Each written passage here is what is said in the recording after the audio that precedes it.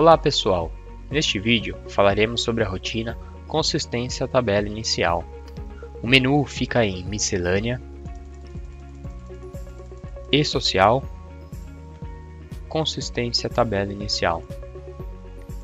Essa rotina tem como objetivo auxiliar no saneamento de dados para que sejam feitos ajustes necessários nos cadastros que já foram realizados em nosso sistema.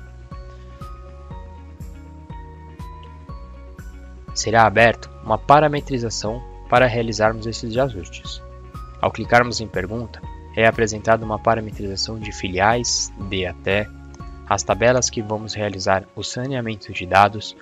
Então temos a opção do S1010, S1020, S1005, 2300 e 2200, assim como a parte dos sindicatos cadastrados.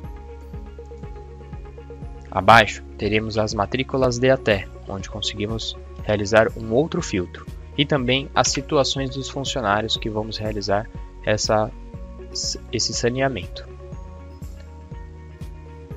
Ao clicarmos em Informações, teremos o botão de Executar para iniciar o processamento de saneamento desses dados. Para saber mais informações sobre essa rotina, acesse nossa documentação técnica na página Entregas Legais. Aqui vou mostrar como navegar nessa página. Ao acessarmos, vá em Principais Assuntos, Saneamento de Dados. Acesse o saneamento na versão do layout simplificado, S1.0.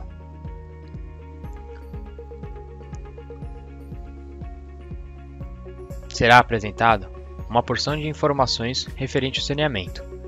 Clique na opção Saneamento de base.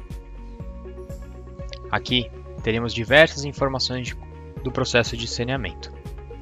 Até mais, pessoal!